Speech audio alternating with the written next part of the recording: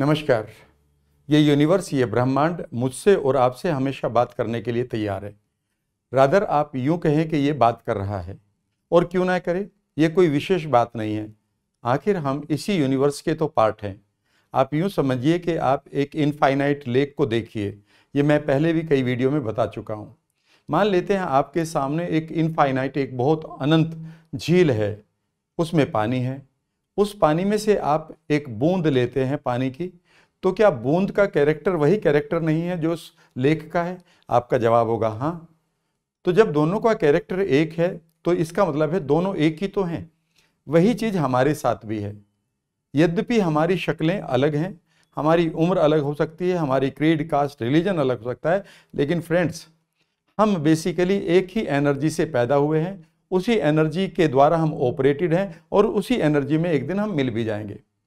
इसी को हम जनरेटर ऑपरेटर और डिस्ट्रॉयर का नाम देकर गॉड वर्ड को पूरा कर लेते हैं। असलियत में हम इसी का ही रिप्रेजेंटेटिव हैं। क्वांटम फिजिक्स भी यही कहती है कि आप और मैं एक ही एनर्जी के पार्ट हैं। हमारे मोलिक्यूल्स के परे एटम्स और एटम्स के परे, जो सब एटम और उनके परे माइक्रो एटम्स हैं उनके परे अगर कुछ है तो सिर्फ़ एक ही चीज़ है जो मुझमें और आप में कॉमन है।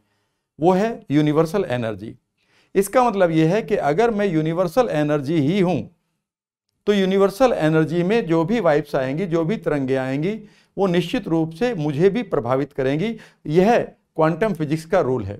क्वांटम फिजिक्स ऑलरेडी प्रूव कर चुकी है कि दो एटम एक ही मेटल के जब उन्हें अलग रखा गया और एक मेटल में करंट दिया गया तो दूसरा एटम उसी तरह से चार्ज हो रहा था। ये कमाल की बात थी। बिल्कुल यही मैसेज हमें मिलता रहता है। तो अगर आप ये आज जानना चाहते हैं कि क्या ब्रह्मांड आपसे बात कर रहा है तो ये बिल्कुल सच है।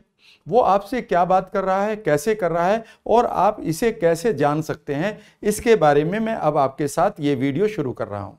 इससे पहले कि मैं शुरू करूँ, अगर आप पहली बार मेरे चैनल पर आए हैं तो मेरे चैनल को सब्सक्राइब कर लें, बेल आइकन को आप प्रेस कर लें ताकि आपको नोटिफिकेशन समय से मिलते रहें। ये खूबसूरत वीडियो आपके बिलीफ को, आपके जीवन को बेहतर करेंगी। यह मैं आपको अश्योर कर रहा हूँ। चलिए बात करते हैं कि किस तरह से आखिर हम इस यूनिवर्सल मैसेज को पढ़ें। पहली तो बात यह है, फ्रेंड्स, कि हमें यूनिवर्स हमेशा मैसेज भेज रहा है। ये सिग्नल्स हमें मिलते रहते हैं। कुछ चीज़ें हमारी लाइफ में ऐसी होती हैं जिन, जिनके पीछे कोई भी रीजनिंग नहीं है। उनके पीछे आप ये भी नहीं कह सकते कोई इमोशनल पावर है। आपको लगता है ये कोई ना कोई यूनिवर्सल पावर है। कई बार किसी व्यक्ति को आप याद करते हैं, उसी का फ़ोन इमीडिएटली बज रहा होता है। या जब आप घंटी बजती है आपके दरवाजे पर और आप दरवाज़ा खोलते हैं तो वही व्यक्ति आपके सामने खड़ा होता है। कई बार आप बता देते हैं कि आपका कौन मित्र परेशानी में चल रहा है। कई बार आपको लगता है कि रात को एक फीलिंग आपको आ रही थी कि आपके परिवार का सदस्य कोई दूर रहता है, वो इस वक्त ठीक नहीं फील कर रहा है और अगली सुबह जब आप उनसे बातें करते हैं तो वो भी यही कहता है कि मुझे रात सपने में आप दिखाई दिए और आप भी यही कहते कि मैं आपको याद कर रहा था। और जब आप ये भी पता करते हैं कि क्या आप ठीक प्रकार से हैं तो वो बताता है कि आखिर उन्हें क्या प्रॉब्लम चल रही है या क्या बीमारी है। ये मैसेज या ये सिग्नल्स हमें रोज मिलते रहते हैं। लेकिन हम इन सिग्नल्स को इसलिए नहीं पकड़ पाते क्योंकि हमें इन्हें पकड़ने का मालूम आई मीन पता ही नहीं है। इसका एक बड़ा रीजन यह है कि हमारे बीच में मेरे और मेरे यूनिवर्सल पावर के बीच में यद्यपि हम एक ही हैं पर हमारे लैंग्वेज का बैरियर आ गया है। सो so, पहली चीज़ है फ्रेंड्स कि आप इन सिग्नल को नहीं पकड़ रहे हैं वो है कि आप लैंग्वेज बैरियर से प्रभावित हैं। तो मैं पहली चीज़ को लिखता हूँ आपका लैंग्वेज बैरियर बेसिकली ये बरियर क्या है? या या ये प्रतिरोध क्या है? यूँ समझिए कि आपके पास एक लैंग्वेज है जिसको आप मातृभाषा कहते हैं। एक लैंग्वेज है या जो आपने सीखी है इंग्लिश हो सकती है हिंदी हो सकती है या कोई भी लैंग्वेज हो सकती है। आप ये मानते हैं कि पूरी यूनिवर्स आपको इसी लैंग्वेज में बात करें, यह पॉसिबल नहीं है। यह तो आपकी भाषा है जो आपने इन साउंड्स को क्रिएट करके एक मीनिंग दिया है। यद्यपि यूनिवर्स में भी साउंड्स होती हैं, लेकिन निश्चित रूप से वो इस तरह की भाषा में कन्वर्ट नहीं होती। दूसरी भाषा हमारे पास होती है नॉन वर्बल यानी कि हम अपने एक्शन से लोगों को बताते हैं। ये भाषा भी आपको यूनिवर्स यूजुअली नहीं देता है। तो पहला बैरियर आपके पास लैंग्वेज का है, इसीलिए आप उसे समझ नहीं पाते। लेकिन सिग्नल्स आपको मिलते रहते हैं, ये तो आपने एक बार नहीं, हज़ारों बार महसूस किया है कि आपको पैसे की ज़रूरत थी और उस ज़रूरत को पूरा करने के लिए आप मारा मारी कर रहे थे। लेकिन तभी लास्ट मोमेंट पर ऐसा हुआ कि किसी ने आपको वो पैसा आपके घर पर लाकर दे दिया। जिस पैसे को आप मांग रहे थे, कोशिश कर रहे थे, तब नहीं मिला। और तभी एक अनएक्सपेक्टेड सोर्स से आपको वो पैसा मिल गया। कई बार ऐसा होता नहीं कि आप किसी समस्या से घिरे होते हैं कि अचानक कोई अजनबी आपसे कुछ बात कह देता है और वो बात बिल्कुल उसी प्रॉब्लम का सॉल्यूशन होती है। कई बार ऐसा नहीं होता है कि आप किसी एक सेंटेंस को कहीं पढ़ लेते हैं और वो आपके उस मोमेंट को पूरी तरह से डिफाइन कर देता है और आप ज़िंदगी को बदल लेते हैं। ये हर एक आदमी के साथ होता है। लेकिन हमारे पास चूँकि लैंग्वेज का बैरियर है, इसलिए हम इसे पकड़ नहीं पाते। अगर आप इसे पकड़ना चाहते हैं तो अगली बात आपको यह करनी होगी फ्रेंड्स कि आपको एक प्योर डिज़ायर रखनी होगी। अगर आप इन सिग्नल्स को पकड़ना चाहते हैं तो अब मैं आपके साथ तरीके शेयर करूँगा। पहला तरीका है कि आपके पास एक प्योर डिज़ायर होनी चाहिए। आप आजमाने के लिए नहीं। ये नहीं कि आप सिर्फ़ आजमा रहे हैं कि आज मुझे मुसीबत है, अगर तुम में दम है, ब्रह्मांड तो मेरी हेल्प करो। यह आपका एटीट्यूड ठीक नहीं है। ऐसा एटीट्यूड मैंने बहुत लोगों का देखा है। जब वो मुसीबत में होते हैं तो ये मानते हैं कि अब पूरा यूनिवर्स उनकी हेल्प करने के लिए आए और उनके अंदर जो एक कंटेम्प्ट होती है, एक डिसरेस्पेक्ट होती है, वो बहुत गलत होती है। असलियत में यहाँ पर आपके पास ग्रेटिट्यूड होना चाहिए प्रेयर होनी चाहिए, एक तरह का आभार व्यक्त करने की आपके पास सरेंडर होना चाहिए। जब आप सरेंडर करते हैं, जब आप बैंड करते हैं यूनिवर्स के सामने, याद रखिएगा तभी ये एनर्जी आपकी तरफ़ फ्लो होती है। जब भी आप सीधे खड़े होंगे एक अहम के साथ, एक ईगो के साथ, ये एनर्जी कभी भी आपके साथ नहीं जुड़ेगी। क्योंकि याद रखिएगा यूनिवर्सल एनर्जी में कभी भी अहम या ईगो नहीं है। ये बहुत ही फ्लेक्सिबल है मूवेबल है इंटेलिजेंट है और ये हमेशा प्योर थॉट को पकड़ती है। ये कभी भी अद्वैत सिद्धांत या मोनिज्म के जो सिद्धांत हैं उनमें पढ़ लीजिएगा। पहले से ये तय हो चुका है 200 सालों से इसी अद्वैत सिद्धांत को या मोनिस्टिक थ्योरी को पूरा यूरोप फॉलो कर रहा है। और ये सिर्फ़ मानने की बात नहीं है, अब तो इसे जानकार प्रूव भी कर चुके हैं। अब सवाल उठता है कि अगर हम एक प्योर इंटेंशन लेकर जुड़ना चाहें तो फिर हमें कैसे वो सिग्नल्स मिलेंगे या लैंग्वेज कैसे मिलेगी? और यहीं से मैं अब आपको बताना शुरू करूँगा। पहली चीज़ है फ्रेंड्स कि जब भी आप इन सिग्नल्स को पकड़ना चाहें तो आपको क्या करना है कि आपको पे अटेंशन आपको अपनी अटेंशन को पे करना है। अटेंशन को पे कहाँ करना है? अब मैं आपके साथ शेयर कर रहा हूँ कि किस, कैसे आप अपनी अटेंशन को पे कर सकते हैं और इसका फ़ायदा ले सकते हैं। इन चीज़ों को अगर आप ध्यान से सुनेंगे तो ये आपके जीवन को आज से बदल सकता है। पहली बात तो यह है कि जब भी आप यूनिवर्सल पावर्स के साथ जुड़ना चाहें तो आप हमेशा अपने जो मन की इंटेंशन है, उसे एक इंटेंसिटी के साथ रखें। मान लेते हैं आपको पैसे की आवश्यकता है, मान लेते हैं आप किसी ऐसी बीमारी से ग्रसित है जो ठीक नहीं हो रही है तो एक इंटेंसिटी के साथ, अपनी प्रेयर के साथ कनेक्शन फील करते हुए यूनिवर्स से और आप अपनी जिज्ञासा रखें। जिज्ञासा रखते हुए आपके पास सरेंडर आभार प्रेयर रिक्वेस्ट ये भावनाएँ होनी चाहिए। लेकिन कई बार ये भावनाएँ हम पीछे छोड़कर अपने अंदर ईगो अहम, कहते हैं ना कि देहिक, देविक, भौतिक, तापा, राम, राज का ना व्यापा। कहते कि राम, राज में तुलसीदास जी कहते हैं कि तीन तरह के ताप नहीं थे, तीन तरह के बुखार नहीं थे। देह का बुखार नहीं था। यानी कि आज अगर हमारी देह, हमारी बॉडी अच्छी बन जाती है तो हम शो करते हैं पूरे वर्ल्ड को कि देखो, मैं कितना बलवान हो चुका हूँ। बल आई मीन मेरे अंदर कितनी अच्छी शक्ति है या मेरी बॉडी कितनी बढ़िया है।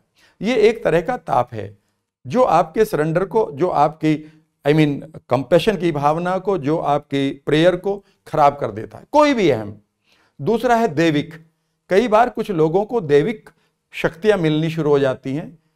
और वो इन शक्तियों को मिसयूज करना शुरू करते हैं और उन्हें एक घमंड हो जाता है कि मैं जो भी बोलूँगा वही मैं कर दूँगा। एंड भौतिक, यानी कि कुछ लोगों को धन का बुखार हो जाता है। जब हमारे पास धन होता है तो धन इसलिए होता है कि आप इस एनर्जी से अपनी लाइफ को ठीक करें और बाकी दुनिया को भी ठीक करें।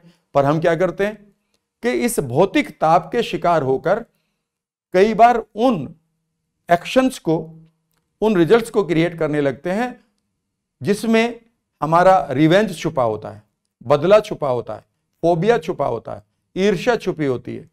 हमारी मरी हुई सेल्फ इमेज बेसिकली एक अहम के रूप में लोगों को दिखाई देनी शुरू करते हैं तो जब भी आप देहिक, देविक, भौतिक ताप में होंगे, तब तब आप यूनिवर्स के साथ नहीं जुड़ेंगे।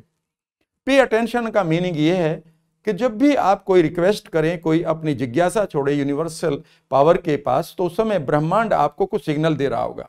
ये सिग्नल बड़े ही यूनिक हैं। अगर मैं अपनी लाइफ के पास्ट में जाऊँ और मैं देखूँ कि किन चीज़ों ने मुझे बदला है तो वो छोटे छोटे सेंटेंस थे जो अनएक्सपेक्टेड वे में मेरे सामने आ गए। उससे ही मैंने अपनी सफलता को जिया है। उससे ही जब जब मुझे फ्रस्ट्रेशन डिप्रेशन या अकेलापन आया है, मैं उससे बाहर आ गया हूँ। उससे ही मुझे क्लियरिटी आती है। और वो कई बार थोट, याद रखिएगा, कोई महापुरुष आपको बताने नहीं आता। कई बार वो किसी की टी शर्ट पर लिखा होता है। कई बार वो किसी के कार के पीछे उस ग्लास पर लिखा होता है और उसे आप पढ़ लेते हैं और वो अचानक आपके जीवन को बदल देता है। एक छोटी सी घटना जो मैं अक्सर अपने पार्टिसिपेंट को अपनी वर्कशॉप में बताता हूँ। एक समय था जब मैं तीस इकतीस का था और मेरे घुटने खराब हो रहे थे र्यूमेटाइड अर्थराइटिस की वजह से पेप्टिक अल्सर था एंग्जाइटी थी। उस समय मेरे माइंड में इतनी स्ट्रेस भरी हुई थी कि उस स्ट्रेस की वजह से मेरे घुटने खराब होने लगे और मैं पूरी तरह से मेरे सामने अंधेरा था।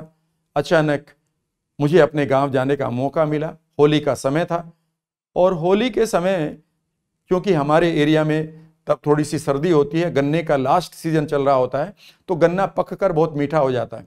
हम गाँव के लोग हैं तो गन्ना खाने का हमें शौक रहता है। तो मैं ऐसे जंगल में घूम रहा था, मेरी गर्दन लटकी हुई थी। और अचानक मुझे, मेरे गाँव के एक आदमी ने आवाज़ लगा ली, अरे, आ जाओ यार, गन्ना चूसेंगे। शाम का वक्त हो रहा था, मैंने अपना मूड खराब हो रहा था। मैंने कहा, छोड़ो यार, तुम चूस लो। उसने कहा, नहीं आओ। तो गाँव में एक जो आत्मिक भाव होता है, मैं उसके तरफ़ खिंचा चला गया। और उसे ये नहीं पता था कि मैं किसी परेशानी में गुजर रहा हूँ, मैं एंग्जाइटी में हूँ, मैं डिप्रेशन में हूँ, और मुझे बीमारियाँ भी आ रही हैं। उसने अचानक एक ऐसी कहानी सुनानी शुरू करी और कहानी सुनाते सुनाते बेसिकली वो अपनी कहानी को बता रहा था। कहानी ये थी कि उसके पास ज़्यादा ज़मीन नहीं थी, थोड़ा सा उसके पास जंगल था और वो ये कह हंस रहा था कि भाई देखो, मैं भी बड़े परेशानी में गुजर रहा हूँ और उसे ये नहीं मालूम था कि मैं भी परेशानी में गुजर रहा हूँ। और उसने उसने अचानक एक बात कही कि यार मैं तो एक ही बात मानता हूँ, अच्छे दिन भी नहीं रहे तो बुरे भी नहीं रहेंगे। और बस यही वो मोमेंट था जिसको मेरे माइंड ने पकड़ लिया कि यार वो अच्छे दिन थे, वो भी नहीं रहे तो ये बुरे जो चल रहे हैं, यही कहाँ रहेंगे? और जो एक आदमी के अंदर एक सुसाइडल थॉट आता है, वो ख़त्म हो गया। आप यकीन नहीं करेंगे कि मार्च में होली होती है और मई में मैं अपने एंटरप्रेन्योरशिप को लागू करते हुए खड़ा हो चुका था। इतनी जल्दी ये मेरेकल्स आपकी लाइफ में होते हैं। बशर्ते कि आप इन सिग्नल को समझना शुरू करें। दूसरी बात जब भी ये सिग्नल्स आएँगे, कई बार आपको विजुअल्स आएँगे। कई बार ऐसा लगेगा कि एक ही तरह के एडवर्टीजमेंट आपको दिखाई दे रहे हैं। ये आपको कुछ कह रहे हैं। कई बार आपको लगेगा कि एक कोई पर्टिकुलर स्ट्रेंजर आपको मिलता है और वो आपसे कुछ कह रहा है। कई बार आप शॉपिंग कर रहे होंगे तो आपके बगल में पड़ा, खड़ा हुआ कोई व्यक्ति कह देगा। कई बार और आपको रात को ड्रीम आएगा और ड्रीम में पता चलेगा कि आपको कुछ बता के गया है कोई, कि आपके लिए ये अपॉर्चुनिटी ठीक है। आपके लिए ये चीज़ ठीक है, आपके लिए ये चीज़ ठीक है। कई बार कोई आपसे मिलने आएगा और वो अपनी कहानी बताकर सडनली किसी कंपनी का नाम बताकर चला जाएगा और आप पाएँगे कि कुछ महीनों के बाद आप उसी कंपनी से डील कर रहे हैं या उसके साथ बिज़नेस कर रहे हैं या उसमें जॉब कर रहे हैं। याद रखिएगा ये सिग्नल यूजुअली डिवाइन होते हैं। तो आपको अटेंशन पे करनी है। अटेंशन पे करने के लिए आपके पास पाँच सेंसेस होती हैं। आपको चीज़ों को विजुअली देखना है। और विजुअल में भी दो हैं, एक बाहर की दुनिया में, और जब आप सोए हुए हो, लेटे हुए हो, आँख बंद हो तो कई बार ये विजुअल्स आपके मानस पटल पर आकर चले जाएँगे। इसीलिए याद रखेगा जितने भी महापुरुष हैं, जितने भी संगीतकार हैं, जितने भी राइटर्स हैं, उनके पास हमेशा एक नोटबुक और पेन हमेशा रहता है। कई बार वो आँख बंद करते हैं और सडनली उनको एक थॉट आता है, एक आइडिया आता है, और वो उस थॉट को आइडिया को या उस धुन को या उस पोएम को लिख देते हैं, और वो एक हिट म्यूज़िक बनता है।